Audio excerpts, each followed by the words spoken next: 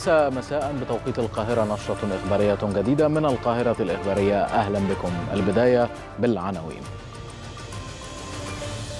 الرئاسة الفلسطينية تحذر من تصديق نتنياهو على خطط عملية عسكرية في رفح وتطالب واشنطن والمجتمع الدولي بمنع العدوان الإسرائيلي.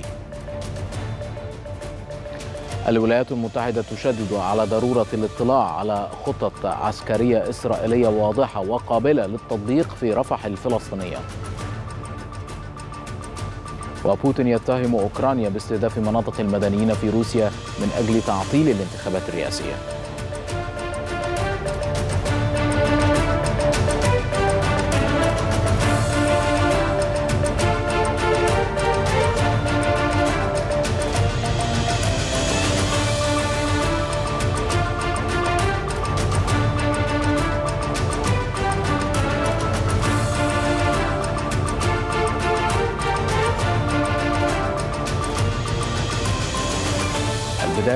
تطورات العدوان الإسرائيلي على قطاع غزة. شهداء قصف دمار جوع فيش أكل.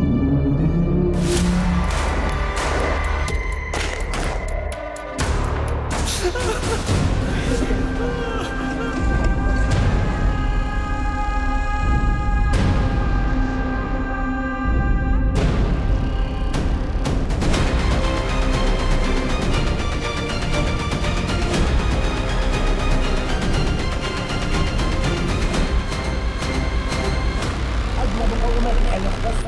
Tabii nasıl işiten? حذرت الرئاسة الفلسطينية من قرار الحكومة الإسرائيلية القيام بعملية عسكرية في رفح الفلسطينية بجنوب قطاع غزة. وطالبت الرئاسة بسرعة تدخل المجتمع الدولي وتحمل مسؤوليته لمنع الاحتلال من ارتكاب مجزرة جديدة والاستمرار في عدوانه الذي يضاعف من معاناة سكان قطاع غزة. مؤكدة موقفها الرافض لمنع وقوع أي تهجير معتبرة أن ذلك خط أحمر. كما شددت على ضرورة وقف العدوان وانسحاب جيش الاحتلال من قطاع غزة وإلزام إسرائيل بتطبيق قرارات الشرعية الدولية.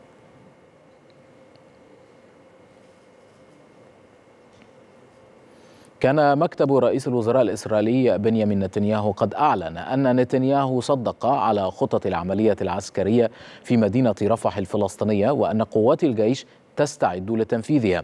هذا وأكد مكتب نتنياهو أن مطالب حركة حماس بشأن إقرار هدنة إنسانية لا تزال غير منطقية. يأتي ذلك وسط تحذير العديد من الدول والمنظمات الإنسانية من تداعيات أي هجوم إسرائيلي على مدينة رفح الفلسطينية. مؤكدين أنها تمثل الملاذ الأخير للنازحين الفارين من الحرب على شمال ووسط قطاع غزة.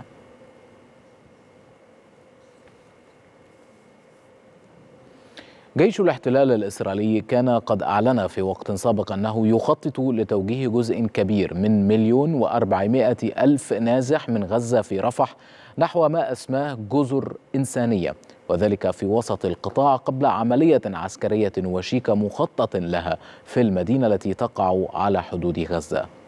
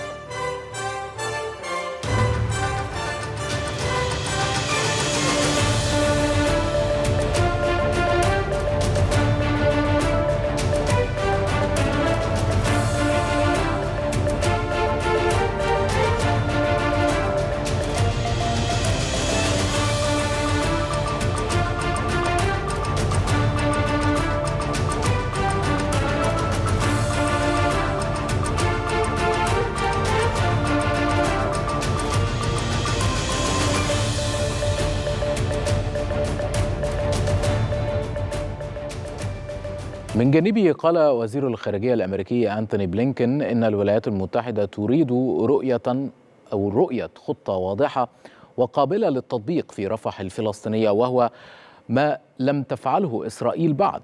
وأضاف بلينكن أن الإدارة الأمريكية تبذل أقصى جهد لوقف إطلاق النار في قطاع غزة وتعمل بنحو مكثف مع مصر وقطر وإسرائيل بشأن صفقة تبادل الأسرى والمحتجزين مع الفصائل الفلسطينية. حول رفح وكما قلت ولن أكرر ذلك. لقد سألت إن رأينا هذه الخطة وأقول لا كلا لم نرى بعد هذه الخطة. بالنسبة للرهائن نعم هنالك عرض مقابل قدمت به حماس. لا يمكن أغوص بالتفاصيل ولكن ما يسعني أن أقول هو بأننا نعمل بشكل مكثف مع إسرائيل قطر ومصر من أجل سد الثغرات والهوات المتبقية ومحاولة التوصل إلى اتفاق. حذر الرئيس المصري عبد الفتاح السيسي من تداعيات اجتياح مدينة رفح الفلسطينية واتساع نطاق الحرب ومخاطرها على سلامة وأمن المنطقة. وأكد الرئيس المصري عبد الفتاح السيسي على ضرورة أن تكون هناك دولة فلسطينية مستقلة معترف بها دوليا على حدود يونيو 1967 وعاصمتها القدس الشرقية. مع التحذير الشديد جدا من خطورة اجتياح رفح. أنا أقول دايما إن, إن إذا كنا إحنا فعلا عندنا جدية كلنا كمجتمع دولي على إن يبقى في فرصة حقيقية إن يبقى في دولة فلسطينية جنبا إلى جنب مع الدولة الإسرائيلية ويبقى في فرصة لهم إن هم يعيشوا بكرامة كبيرة جدا جدا في بلدهم ويديروا أمورهم بالشكل اللي هم يرتضوه دون أن يكون لهم ضرر أو يكون للمواطن الإسرائيلي على الجانب الآخر ضرر. هذا واكد الرئيس المصري عبد الفتاح السيسي أن مصر تبذل كافة الجهود اللازمة لوقف إطلاق النار في قطاع غزة، وأضاف الرئيس المصري عبد الفتاح السيسي أن كل المساعدات التي تم تقديمها إلى قطاع غزة أقل من المطلوب، داعيا إلى ضرورة وقف إطلاق النار وزيادة حجم المساعدات الإنسانية إلى القطاع. وإحنا بنحاول بكل جهد مخلص وأمين وأن إحنا نصل إلى وقف إطلاق النار في القطاع حتى يعني نحمي وننقذ أهلنا في غزة وخاصة المدنيين الأبرياء. وإحنا بنتكلم على أكتر من دلوقتي أكتر من 30 ألف تلتينهم من النساء والأطفال وأكثر من سبعين ألف مصاب. علاوة على أن تقريبا 60 ل 70% من القطاع مبانيه ومنشآته بنيته التحتية والمنشآت الحكومية وكل المنشآت الخدمية تقريبا اللي إحنا بنتكلم على اللي هي كانت العمود الفقري للقطاع تم تدميرها خلال هذه الحرب. أعلنت وزارة الصحة الفلسطينية ارتفاع حصيلة العدوان الإسرائيلي المتواصل على قطاع غزة منذ السابع من أكتوبر الماضي إلى 31490 شهيدا و 73439 جريحا. وأفادت الوزارة بارتكاب الاحتلال الإسرائيلي 13 مجزرة ضد العائلات في غزة. راح ضحيتها 149 شهيدا و300 جريح خلال الساعات الأربع والعشرين الماضية.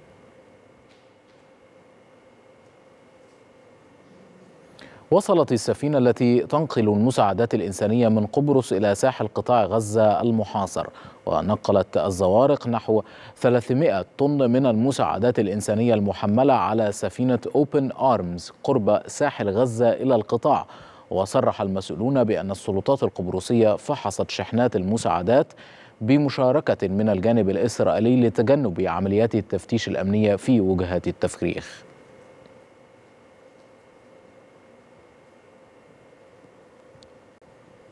هذا وتواصل الدول إسقاط المساعدات الإنسانية جوا على قطاع غزة في محاولة لتفادي المجاعة التي يعانيها سكان القطاع نتيجة الحصار الذي فرضه جيش الاحتلال.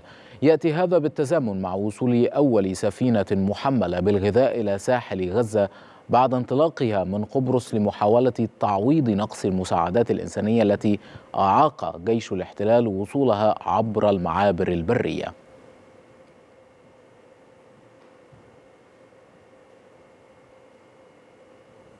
أعرب المفوض العام لوكالة الأمم المتحدة لغوث وتشغيل اللاجئين الفلسطينيين أونروا فيليب لازاريني عن شكره لأستراليا على دعمها للوكالة في هذا الوقت الحرج الذي تمر به غزة والمنطقة. ودعا لازاريني المانحين الآخرين إلى إعادة دعم الوكالة الأممية لمواجهة الجوع المنتشر على نطاق واسع في غزة مشيرا إلى أن المنظمات تمثل شريان حياة للنازحين الفلسطينيين في جميع أنحاء المنطقة.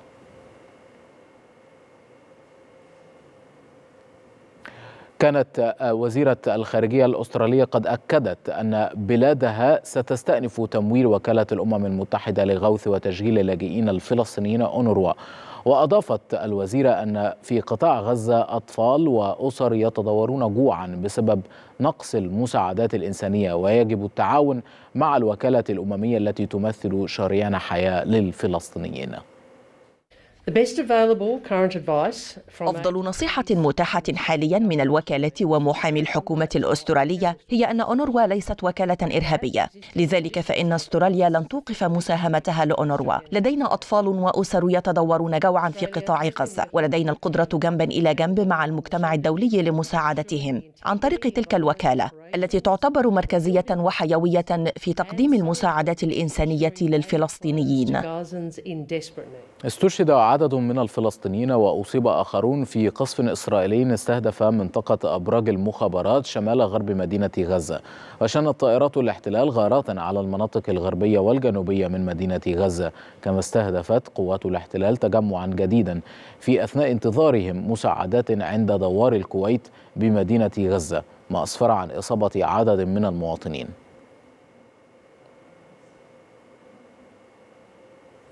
ذكرت وكالة رويترز أن حركة حماس قدمت مقترحا للوسطاء لوقف إطلاق النار في قطاع غزة بحيث تتضمن مرحلته الأولى الإفراج عن النساء والأطفال وكبار السن والمرضى الإسرائيليين مقابل الإفراج عن عدد يتراوح بين 700 إلى 1000 أسير فلسطيني. يشمل المقترح الاتفاق على الموعد النهائي لوقف إطلاق النار الدائم بعد انتهاء المرحلة الأولى والإفراج عن جميع المحتجزين الإسرائيليين والأسرى الفلسطينيين في المرحلة الثانية.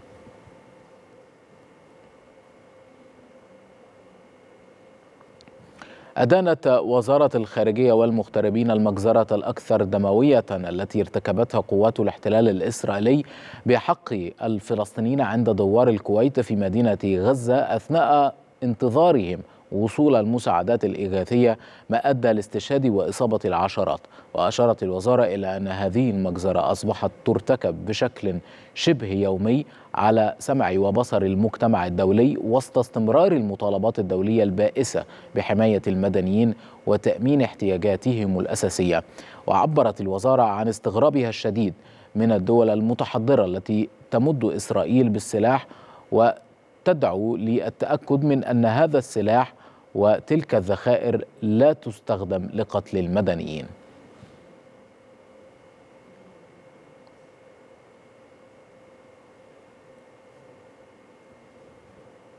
قالت دائرة الأوقاف الفلسطينية إن ثمانين ألف فلسطيني أدوا صلاة الجمعة الأولى من شهر رمضان في المسجد الأقصى المبارك بعد أن منعت قوات الاحتلال الإسرائيلي عشرات الآلاف من المواطنين من الوصول إلى المسجد ونصبت قوات الاحتلال حواجز حديدية على أبواب المسجد الأقصى المبارك لمنع دخول المزيد من المصلين.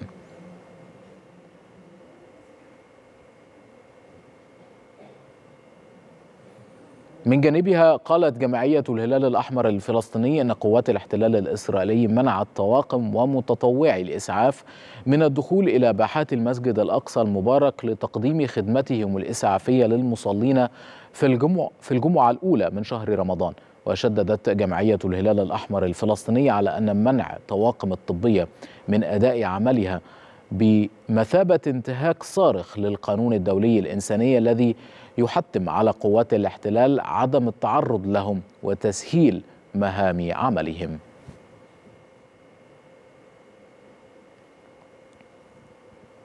وصل وزير الأمن القومي الإسرائيلي إتمار بن جفير إلى مقر شرطة الاحتلال في البلدة القديمة بالقدس مؤكدا أنه جاء لتقديم الدعم للقوات للتعامل بقوة مع الاضطرابات التي قد يسببها الفلسطينيون. ويطالب وزير الأمن القومي الإسرائيلي الحكومة بفرض مزيد من القيود لمنع الفلسطينيين من الصلاة في المسجد الأقصى خلال شهر رمضان.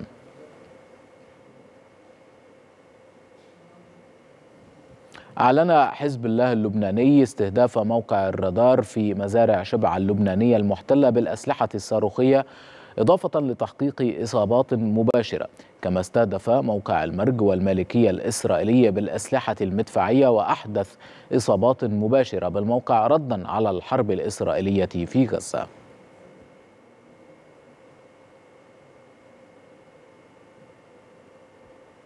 أعلن التلفزيون الصومالي نجاح قوات الشرطة في القضاء على منفذي الهجوم المسلح على فندق سيل في العاصمة الصومالية مقدشيو كان المهاجمون قد أطلقوا الأعيرة النارية واقتحموا الفندق الذي يقع بالقرب من مكتب الرئيس الصومالي شيخ محمود ويتردد عليه عدد من المسؤولين والمشرعين الصوماليين.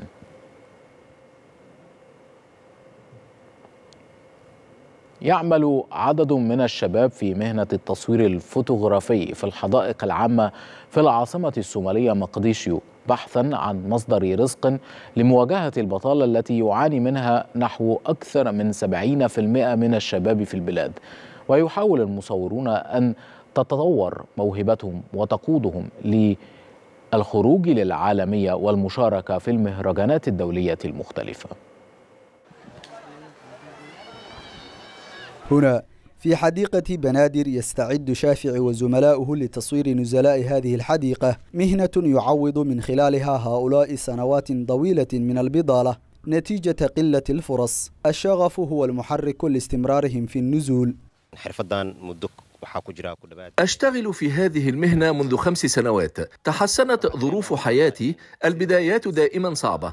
واجهتني تحديات كثيرة. منهم من يقوم بإحباطك. وهنا من يشجعك على مواصلة الدرب حتى تتحول إلى محترف. يشيد الزبائن بالخدمات التي يقدمها المصورون التي تتمتع بجودة عالية وسرعة في الإنجاز بمقابل زهيد. يقوم المصورون المحترفون هنا بعمل رائع من السرعة والأداء. ففي السابق كنا نضطر إلى الذهاب للمحلات الخاصة وانتظار أسابيع للحصول على الصور من قبل شركات إنتاج الصور الفوتوغرافية. لكن الآن نحصل على صورنا في دقائق قليلة وبجودة عالية وأسعار مقبولة. يأمل عيسى أن تقود عدسته الخروج إلى العالمية والمشاركة في المهرجانات الدولية لاستعراض مهاراته.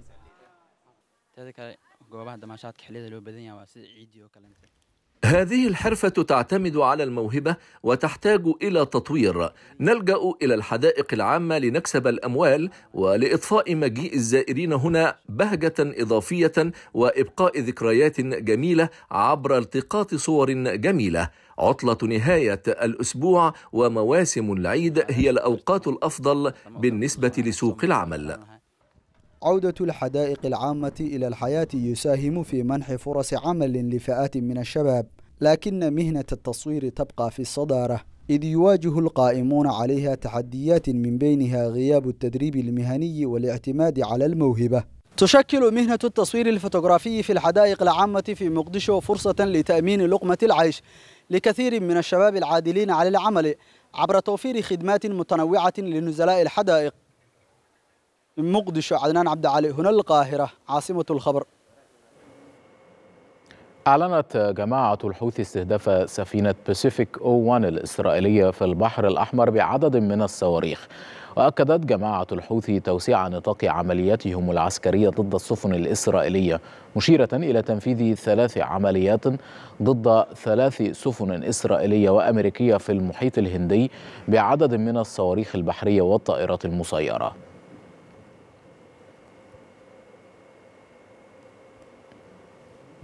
قالت هيئة عمليات التجارة البحرية البريطانية إنها تلقت تقريرا عن حادثة على بعد 76 ميلا بحريا غربي مدينة الحديدة اليمنية.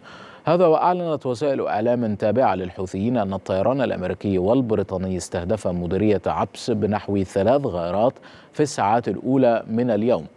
وكانت وسائل الإعلام الحوثية قد أعلنت أن القوات الجوية الأمريكية البريطانية شنت 14 غارة على الحديدة وحج خلال الساعات الأربع والعشرين الماضية نتحول الآن إلى ملف الانتخابات الرئاسية الروسية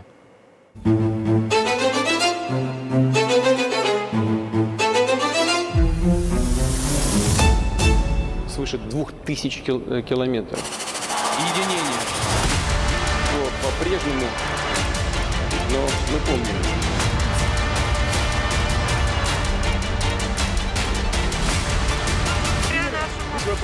Специально с тем, чтобы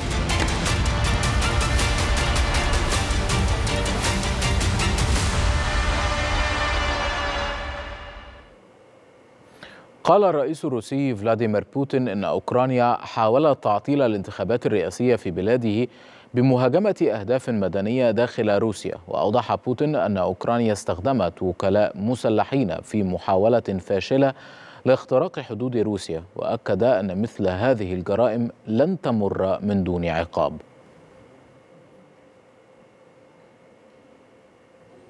هذا وتواصل مراكز الاقتراع في موسكو وجميع مناطق روسيا استقبال الناخبين للإدلاء بأصواتهم في الانتخابات الرئاسية الروسية.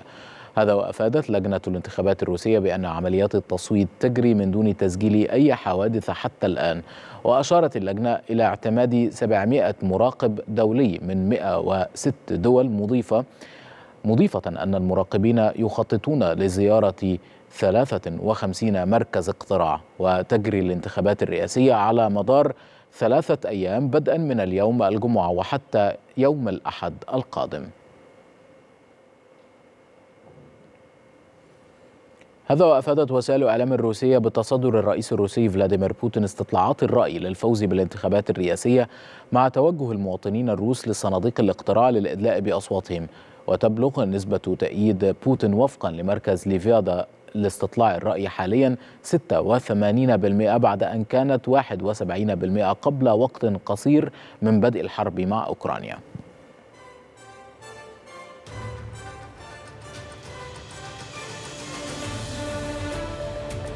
إلى هنا نصل إلى ختام هذه النشرة وهذه تذكرة بالعناوين.